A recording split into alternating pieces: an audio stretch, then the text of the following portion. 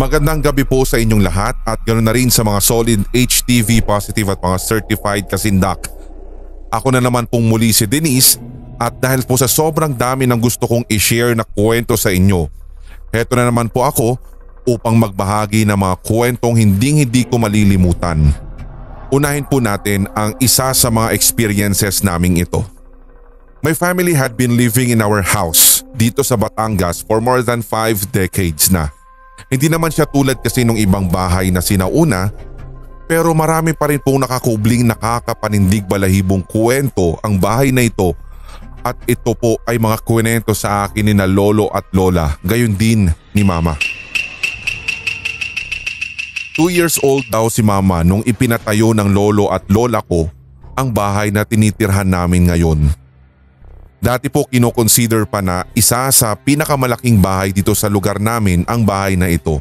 At dahil nasa probinsya kami, masukal po yung mga daanan and most of the time, wala po talagang nakakakilala sa lugar namin dahil doon. Madalas pong kinikwento ng lola ko na marami daw ang mga bangkay na itinatapon doon sa tubuhan dati.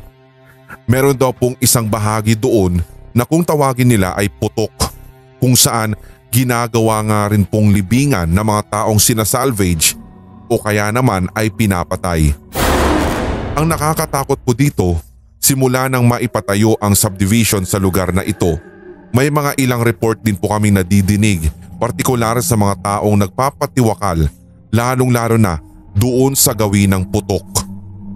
Naalala ko yung kwento ni mama na nung bata pa nga daw po sila Madalas daw po silang nakakarinig ng mga babaeng nag-iiyakan sa gilid ng bahay namin. Katabi kasi talaga mismo ng bahay namin yung tubuhan dati at madalas daw po talaga na maraming nagpaparamdam doon.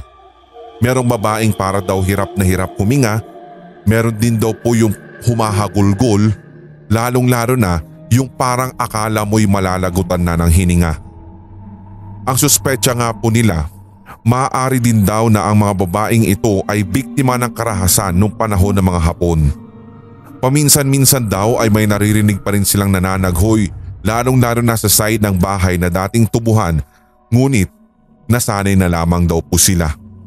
Ang ginagawa na lamang nila para tumahimik ito ay ang isama sila sa pagdarasal para sa kanilang kaluluwa.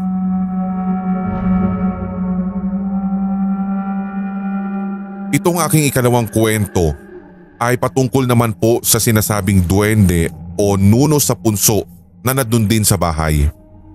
Hindi lang kasi mga kaluluwa yung mga naranasan nila sa bahay na ito kundi pati na rin mga ibang elemento or lamang lupa kung tawagin.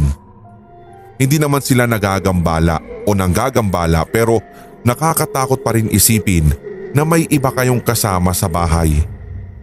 Noon daw ay napansin nilang may lupang unti-unting lumalaki sa ilalim ng lamesa namin lalong lalo na sa gawin ng hapagkainan. Bigla na lamang daw itong tumubo kaya gusto nilang ipatanggal lalong lalo na ni Lolo.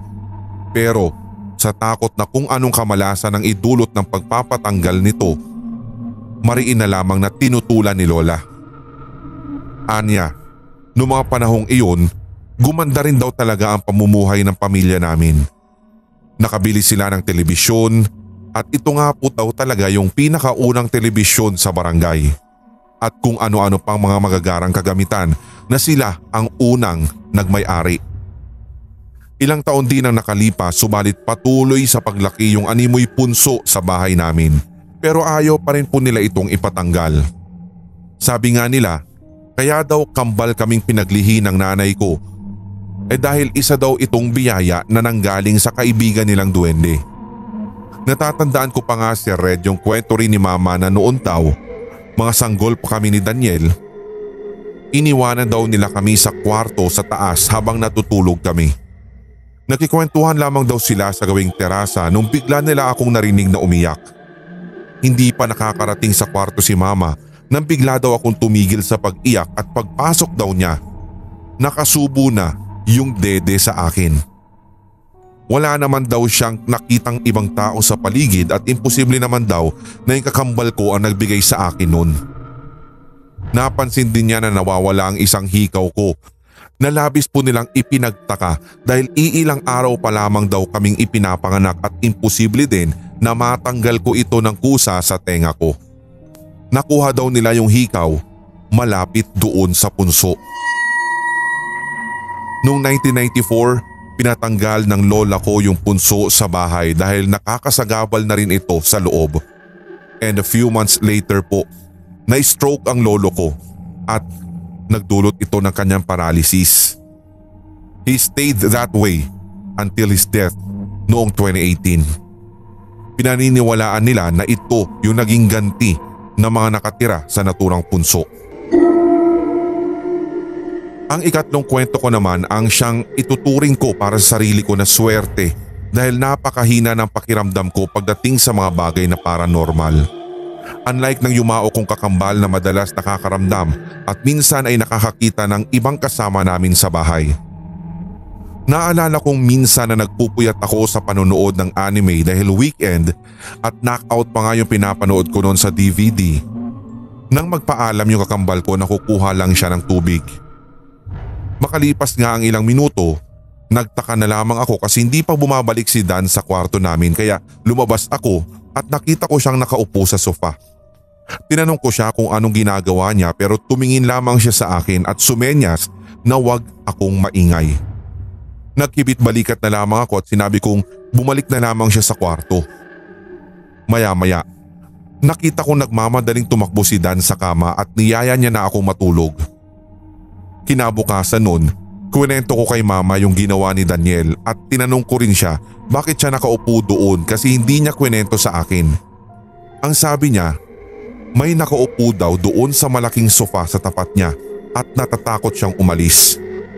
Tinanong ko kung nakakakita ba siya ng multo at ang sagot naman niya ay hindi. Kaya sabi ko na lang baka malamang ay nagbibiro lamang siya. Yung sofa po kasi namin noon, yung meron pang spring na kapag umupo ka, maririnig mo talagang lumalagit-git yung bakal sa loob. Hindi daw niya alam kung bakit siya naupo sa sofa pero dalawang beses daw niyang narinig na lumagit-git yung spring na animoy merong umuupo at dahil sa ilakbot ay hindi na siya nakakilos kaagad. Napatunayan ko lamang na totoo siya dahil isang beses nagbakasyon sa bahay namin ang pinsan naming si Patrick. Magbabanyo daw siya nung bigla siyang bumalik sa kwarto namin at nagpasama kay Daniel. Kitang kita pa nga sa mukha niya ang takot. Tinanong ko pa nga kung bakit siya namumutla. Nadadaanan kasi yung salas namin papuntang CR and apparently pagdaan niya dun daw sa may sofa lumagitgit ulit ito na parang may umuupo.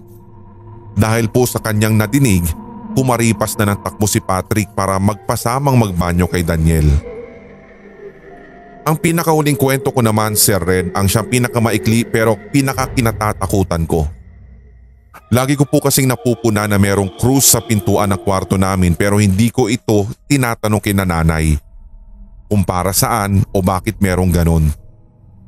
Nung minsang pinalitan niya na yung cruise, saka ko na lamang pinagtuunan ng pansin at tinanong kay mama ang tungkol dito. Ayon sa kanila, meron daw kasing babaeng nakapangkasal na itim na naglalabas-masok sa kwarto namin. Ilang beses na daw itong nakita sa peripheral vision ni mama pero hindi sinasabi sa akin kasi mahina naman daw ang pakiramdam ko.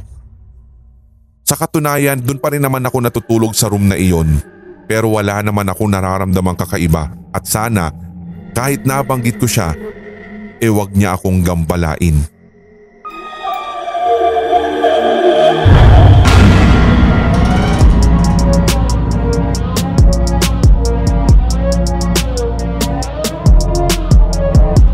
Nagustuhan mo ang kwentong katatakutan na ito, hit like, leave a comment at i-share ang ating episode sa inyong social media. Suportahan ang ating writer sa pamamagitan ng pag-follow sa kanyang social media. Check the links sa description section. Don't forget to hit that subscribe button at ang notification bell for more Tagalog horror stories, series, and new segments. Suportahan din ang ating mga brother channels, ang Sindak Short Stories for more one-shot Tagalog horrors. Gayon din ang Hilakbot Haunted History for weekly dose of strange facts and hunting histories. Hanggang sa susunod na kwentuhan, maraming salamat mga solid HTV positive.